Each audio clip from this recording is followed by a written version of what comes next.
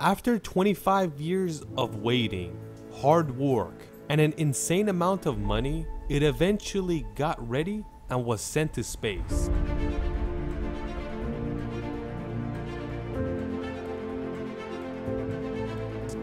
NASA and other space agencies have sent stuff to space all the time. But this was something else. Because a lot of people in the world were waiting for this day, and they're waiting in the same way for it to take its first picture.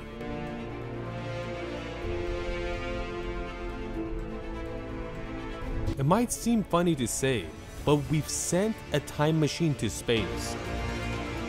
A time machine where you can see far away. You could see so far back, you could see the beginning of the world.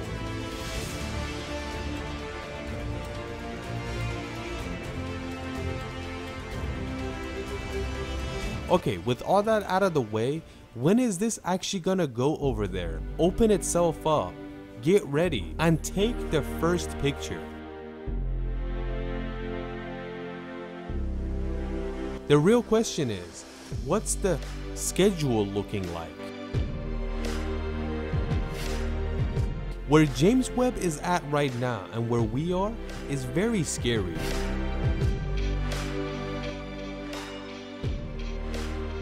An insane telescope like this that's very expensive is getting farther away from us every day.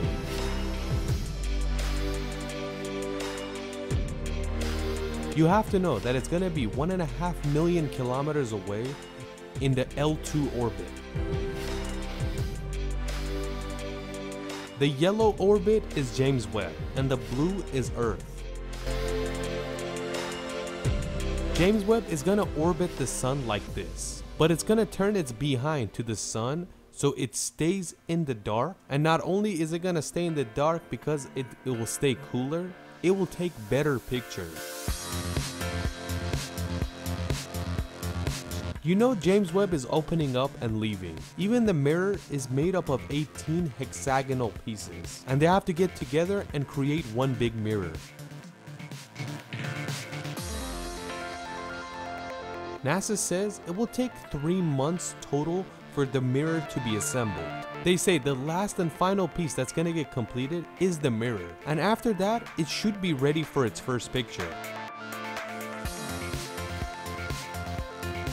They say until the day it will be ready, it's gonna take 3 months, but they can't make any promises that it will for sure be ready to take its first picture around that time.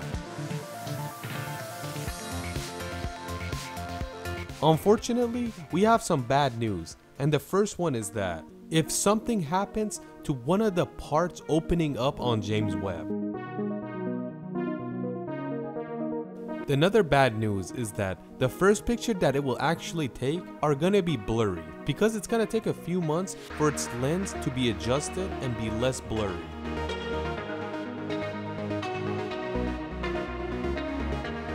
But in this video, we're gonna talk about what are the first pictures it's gonna take.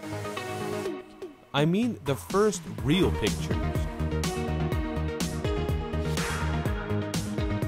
Scientists say six months after launch, James Webb will be ready to take a good picture.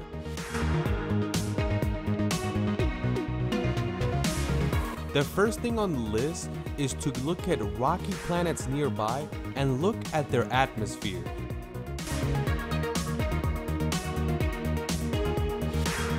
James Webb was built with the help of 41 countries, and whoever paid that amount has the right to use the telescope, and the schedule has already been set up. But we have to know, more than 50% of the cost was covered by NASA. And the next big investor was ESA, the European Space Agency. These two are the biggest users and funders, but each country that invested gets to use it.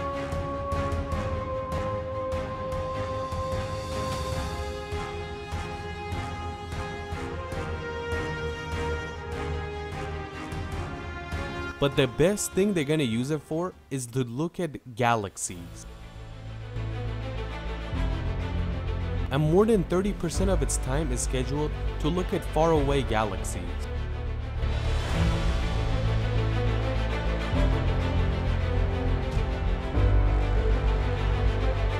But to get warmed up, it's gonna look at rocky planets nearby.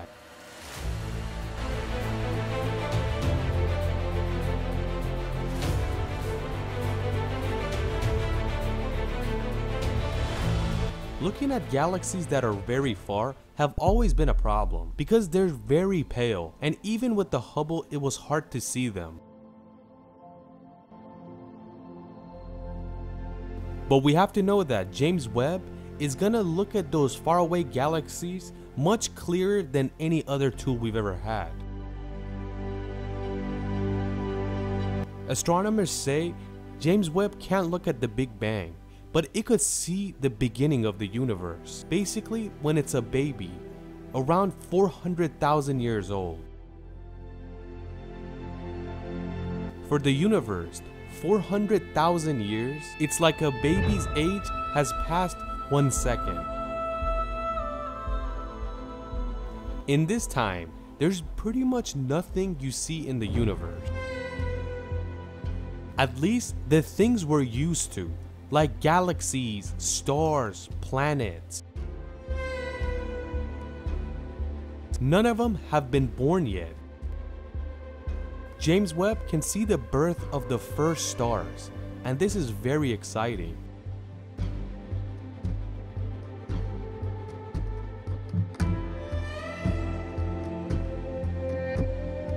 Another thing on James Webb's schedule is to look at planets that are similar to planet Earth.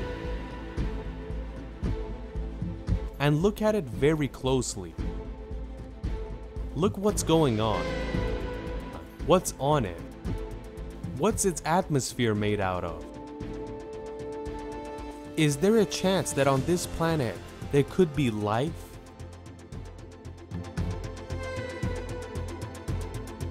James Webb also has a system that could measure the temperature of the planets, and this is very useful.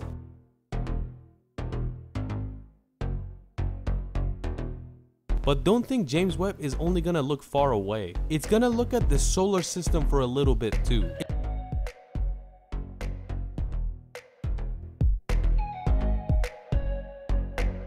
It's gonna mainly look at Neptune's moons and asteroids that are around the solar system.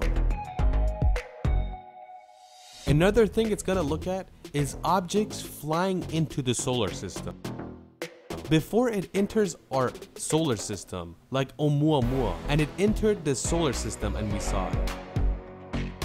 And we made a video on it before if you want to check it out. James Webb is built in a way where it's gonna get to everything. Another thing it's gonna look at is the Milky Way and map out a few black holes. And try to take a picture of the best black hole it can find. And on the other hand, it's gonna look at the births of new stars in the Milky Way.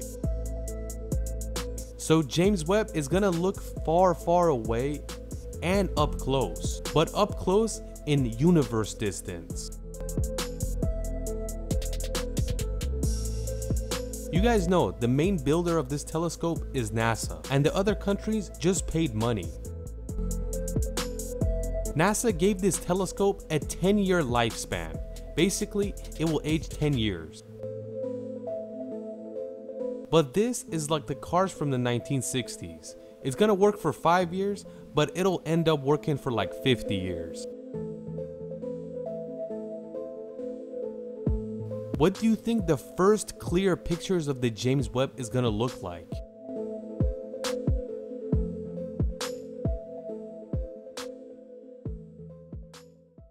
Imagine it looks at a planet and it realizes there's living things on it. What should we do at that time? But they're not going to be able to see James Webb, so there's no real danger. Either way, James Webb is going to figure out some cool stuff in the universe and let us know what it found out. Please let us know what you think about the first images James Webb is going to take.